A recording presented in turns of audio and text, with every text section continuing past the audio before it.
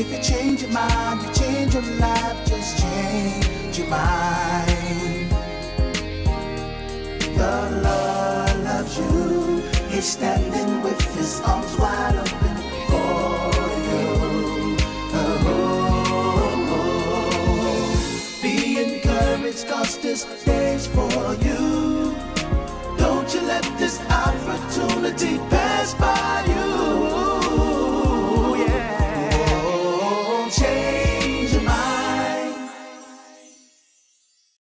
Good evening, everybody. It's Pastor Wendell Jones. I'm here with you tonight uh, because it's, you know, we do Wednesday night. It's Bible study time. It's our time to to sit and talk. I know we call it Bible study time, but I've, I've been flirting with the idea of, of, of, of calling it some some type of name that replies or refers to to leadership development because that's really what's in my heart to do.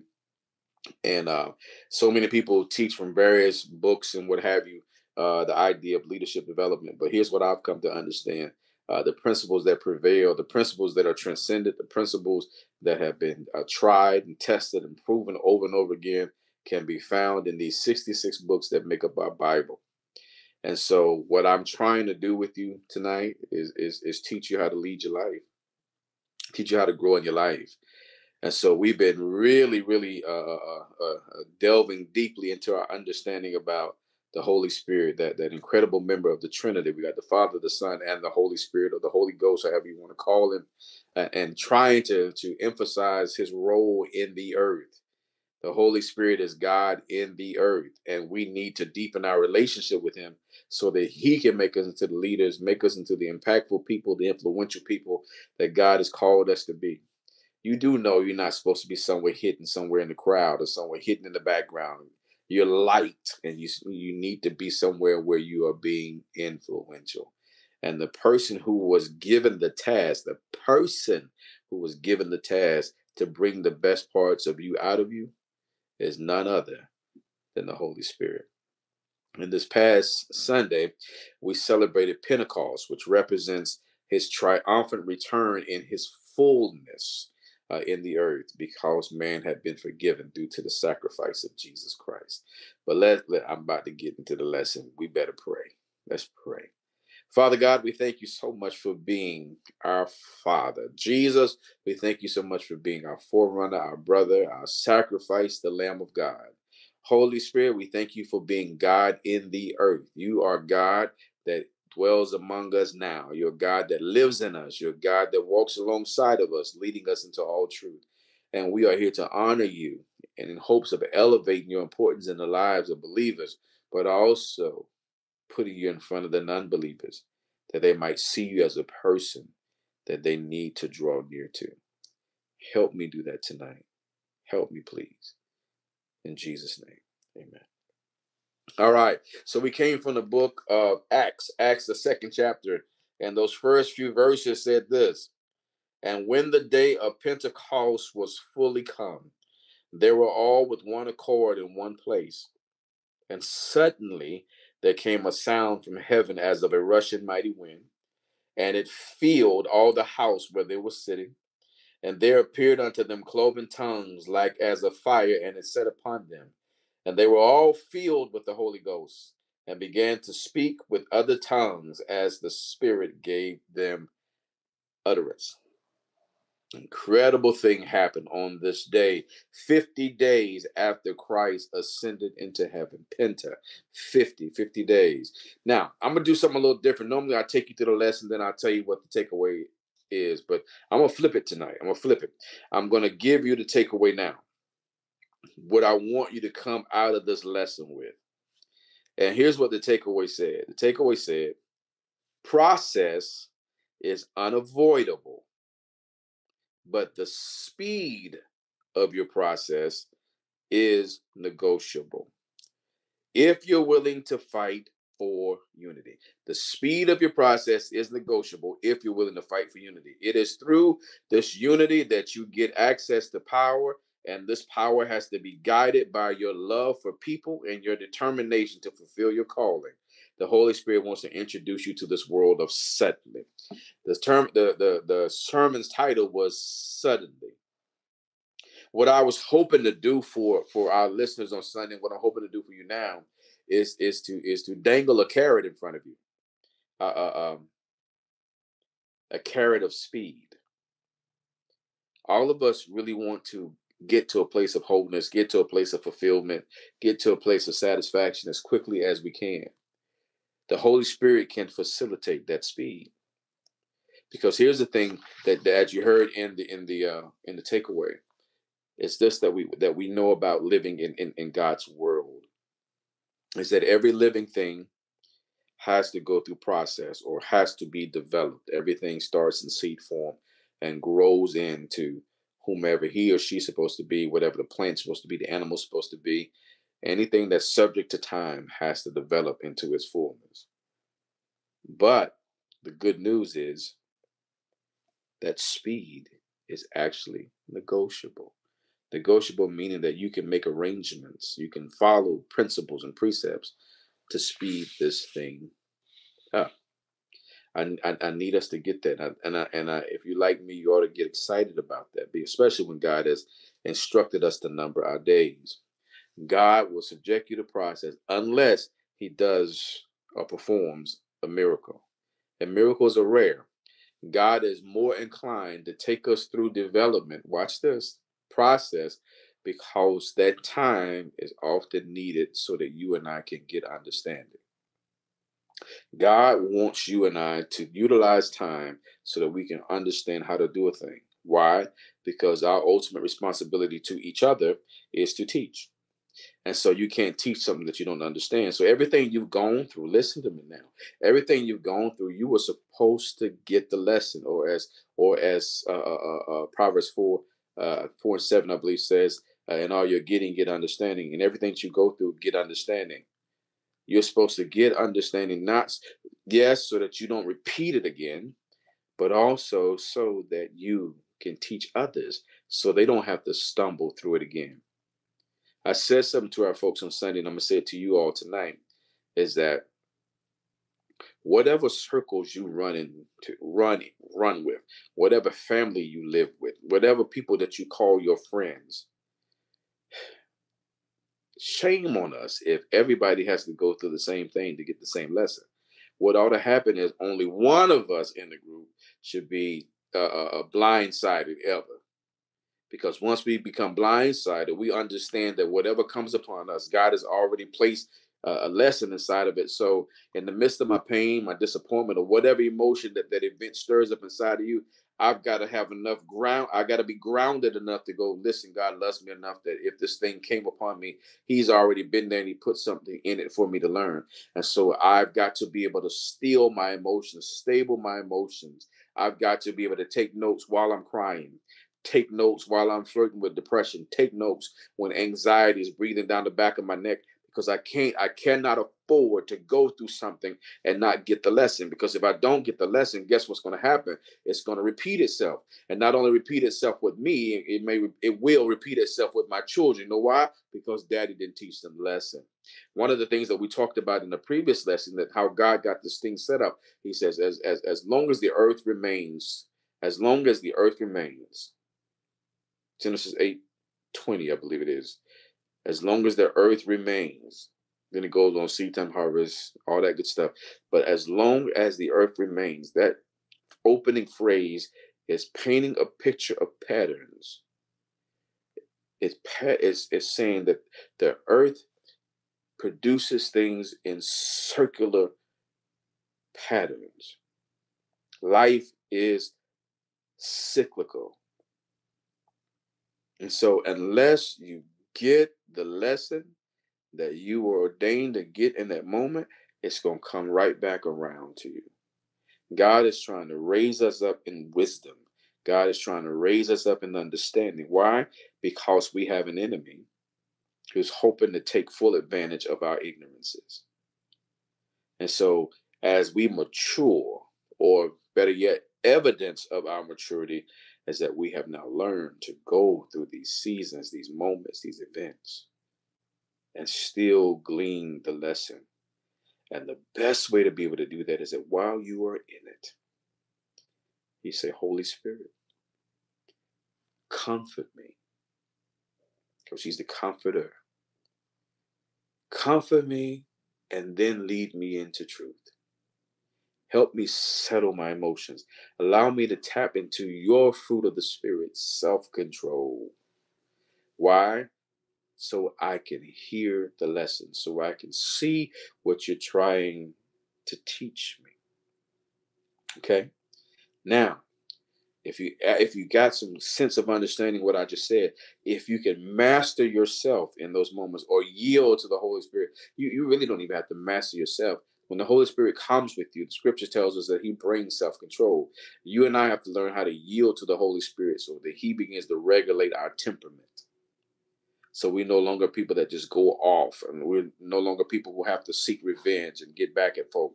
We, we, we're above that now. We're above that now. We're not above going through different things. Still, many are the afflictions of the righteous. But whatever I go through, I'm able to tap into Him to calm me down so I don't miss the lessons.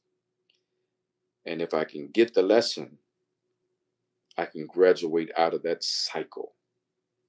Does that make sense to you? Now, the other thing I said to you is that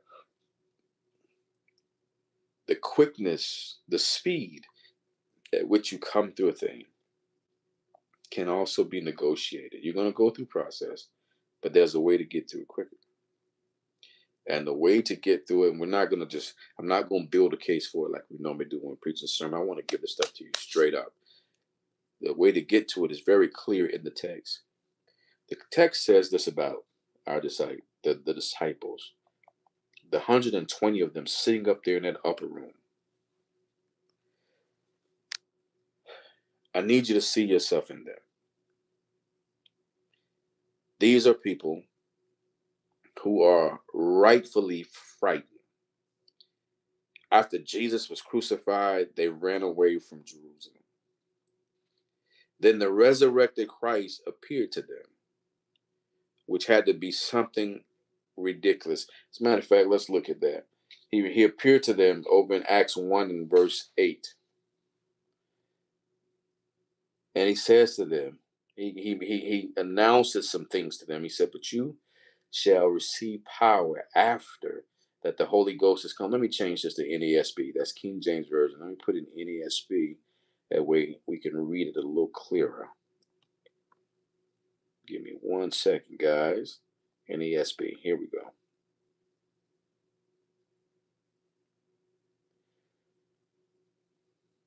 But you will receive power when the Holy Spirit has come upon you. And you shall be witnesses both in Jerusalem and in Judea and in Samaria and even the remotest parts of the earth. Then verse 9 says, And after he had said these things, he was lifted up while they were looking on, and a cloud received them out of their sight. They are looking at the they are looking at the resurrected Christ. And that had to be amazing because he's done everything he said he would do. He said, I'm, I'm, they're going to kill me, but I'm going to come back. And so as I told him Sunday, I said, listen, that, that, their confidence in him and their confidence in their association with him had to have gone through the roof. This man is the real deal. If there was ever any doubt left in their minds, this is them outside of the city of Jerusalem. Scripture says they were about a day's journey outside of Jerusalem, which means equates to about 25 miles outside of Jerusalem. And they're talking to the resurrected Christ. And he's telling them some incredible stuff. He says, uh, uh listen, he said, um, I'm getting ready, or I've made arrangements for you to receive power. Not just any power. That word is dunamis. And that that that means let me just read this the definition because I don't want to play around with that and try to remember it. Uh, it, it comes because you your very nature has changed. It's a power that allows God to trust you with miracles when necessary. It is a power that means you have excellence of soul. That means your mind and your will and your emotions are at their peak performance. It's a power that brings influence that allows you to, to attract wealth and riches. It's a power that allows you to attract resources. This is what Jesus is saying. You're going to have this thing called dunamis, and, and, and it's going to do something to you. Your very nature is going to change. Meaning everything about you that normally hinders you, everything about you that normally get that trips you up, everything about you that normally creates triggers. He said there's some power coming that's going that's going to take that away. Now, as I told you before, everything with God takes process. So he, he wasn't saying it's going to absolutely be instant, but he said this power is going to be able to transform your nature.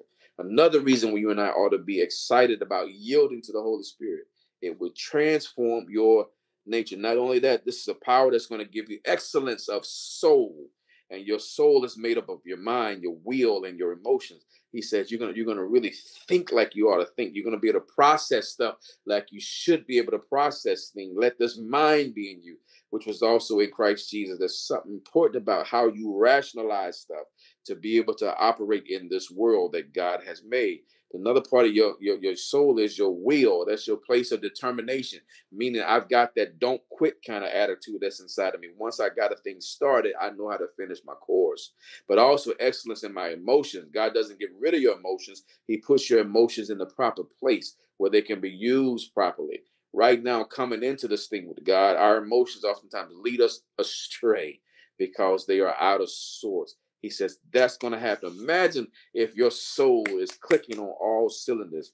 How, how, how, how you can better respond to life, better respond to people, better respond to circumstances where you never do things to put yourself in a bad spot. He said that's going to happen. Not only that, this power that's going to have you is going to make you attractive for resources and for men to pour into your bosom, for people to see you as the valuable person that you are. This is what he's offering to you and me when the Holy Ghost comes. The same thing he offered to them, he's offering to you. When the Holy Spirit comes and he's allowed to do his thing in you, it comes with this change of nature. And when your nature changes, you start moving toward excellence because your soul gets healed. And as your soul gets healed, you become clearer on your purpose and your value, which means you begin to be more valuable to men. You're more valuable to God, but you're also more valuable to men in the earth. And men now come to you, seek you out, and they pour into your bit your bosom. So now you have reason to obtain resources, even wealth if necessary in your calling. He said, I'll do that when the Holy Ghost has fully come But he also said this to them. All of that was wonderful. But he says, go to Jerusalem. Now, if you're just reading that, you're like, okay, let's go, let's head off to Jerusalem. But you but you may not remember, Jerusalem was the scene of the crime. Jerusalem was where they crucified Christ. Jerusalem was where the disciples ran from. Jerusalem was where the witch hunt was still on looking for them. And Jesus said, Go back to the place of danger. But also go back to the place of your responsibility. See, we're trying to figure out how to speed this thing up. First of all, I got to accept the indwelling of the Holy Spirit and His full functionality in my life. I got to go to the place that God's called me to go and stand in. That might be a little terrifying to me, a little frightening to me. It might subject me to attack, to attacks. All of this is for you to get in the will of God. All of this is so that there's a need for you to have an excellence of soul. You don't need an excellent soul if you're outside of the will of God. You don't. You don't need all that stuff that the power promises you if you also want to be in a place of comfort. He has to stick you in a place where you can make change occur because all those tools that come with having power is for you to implement change. It's for you to implement order. And so these very disciples took a day's journey to walk back to the city. And they found themselves in this upper room. What facilitated the sudden arrival of the Spirit? They were on one accord. When God's people get beyond themselves and begin to make the overall goal, the overall objective, the overall vision important, and they're able to get on one accord, God can move swiftly. When we get on one accord, the Holy Spirit can do His work swiftly to position us to be able to be instruments of His power. I need you to get that. Because one of the things that fights us from being able or resist us from being able to operate in all these wonderful things God has called us to do is number one, He never called you to do it all by yourself. Even from the days of Adam, it's not good for man to be alone. But He gives you hints throughout Scripture. He said, "Lest two or three are gathered together, I'm, then I'll be in the midst." But He also says, "Listen, uh, uh, one can set a thousand to flight, but two can set ten thousand to flight. That's that's called power." one person is is, is is is can do some damage. You know, a thousand people to one to a thousand seems like a lot.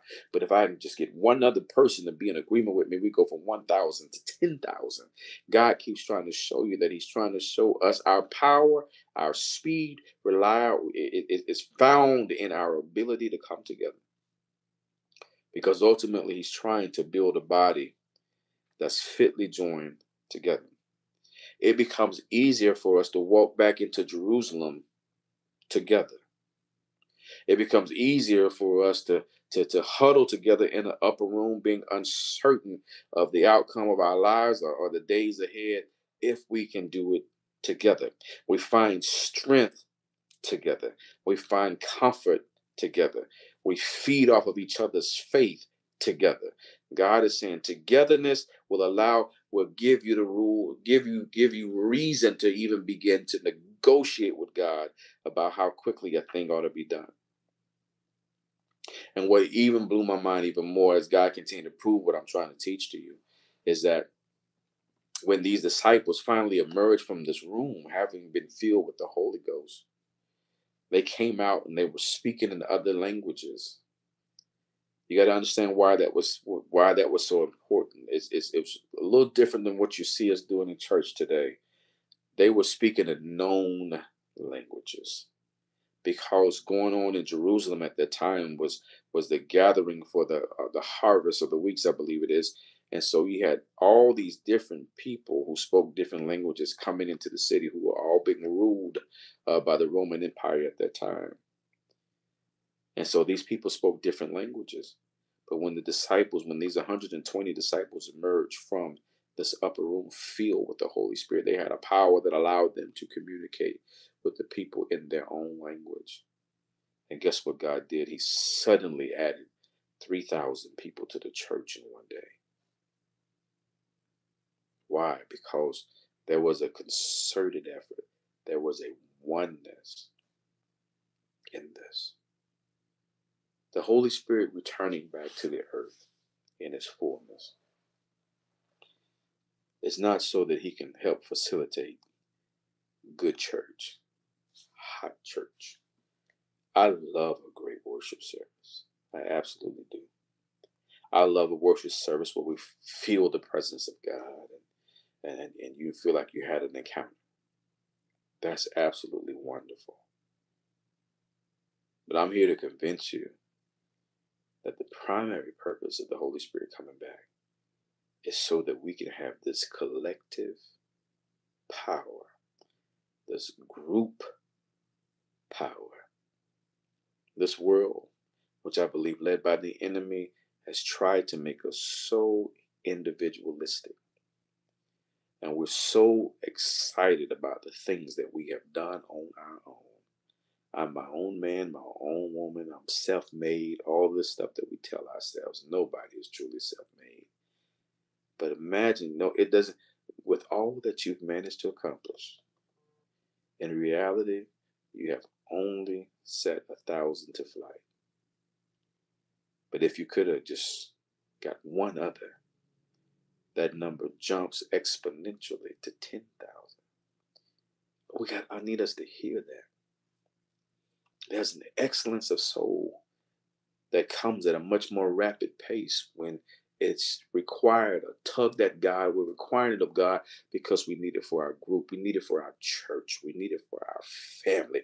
We need it for our marriage. God, we're coming together and we want the power of the Holy Ghost, the speed of our healing, power of the Holy Ghost to advance the mission of this church, the power of the Holy Ghost to advance the mission of this job, because all of them have, we, we yield them all to you. And God, we understand that our coming together avails or makes available to us this power that can speed things up in our lives and allow us to be influential in ways that give you glory. I want us to get that. I want us to understand that.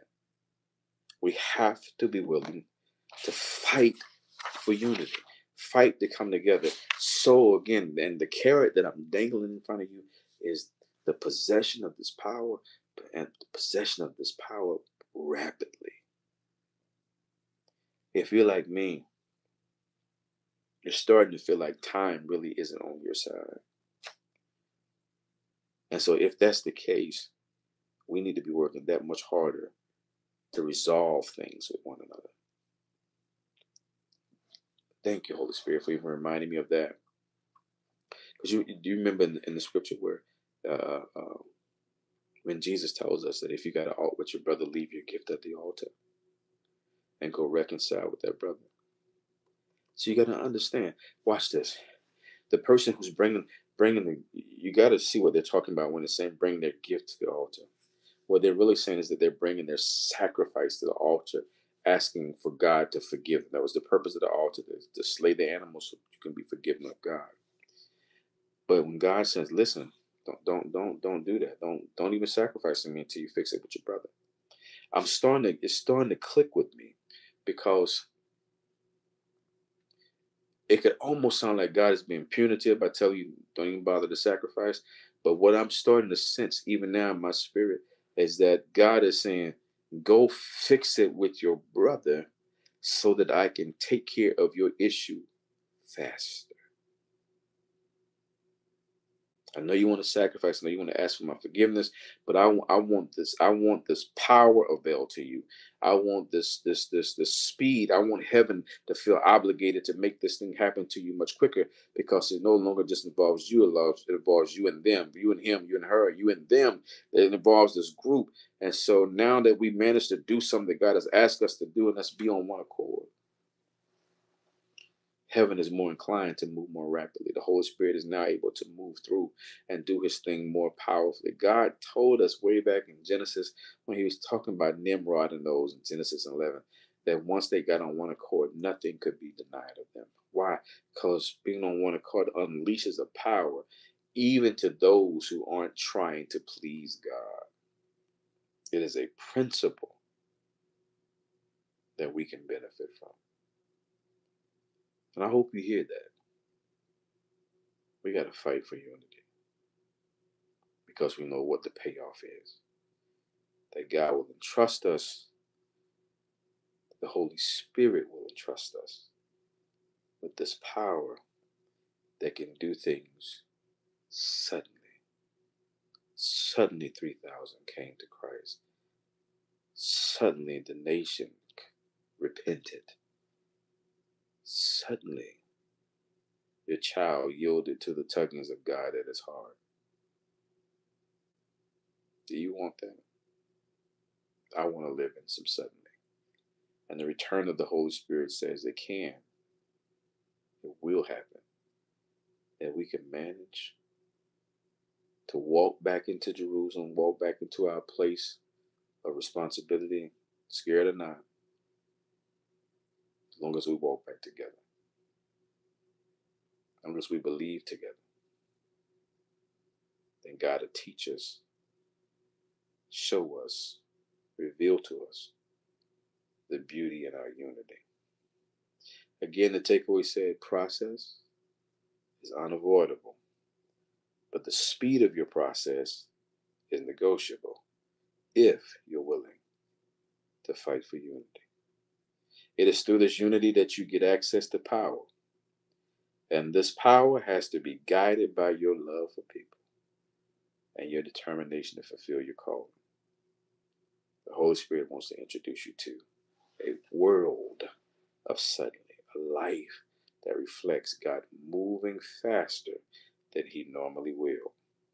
I don't want to tease you with this whole suddenly thing as if it's going to be like that all the time, but it will be faster than it would have normally taken place if we decide to do it together. Does it make sense?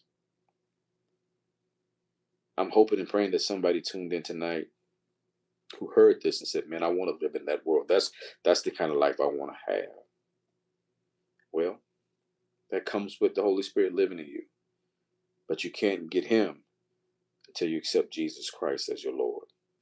Jesus is the door, the one and only door that gives you access to the Holy Spirit. Jesus is the only way that you can be completely forgiven of your sin and cleansed of your sin, cleansed of your unrighteousness to the point where the Holy Spirit can now feel safe, be safe, be allowed to come dwell inside of you and give you access to his power. If you're ready for that life, say this prayer with me. Say, Father, I thank you for Jesus.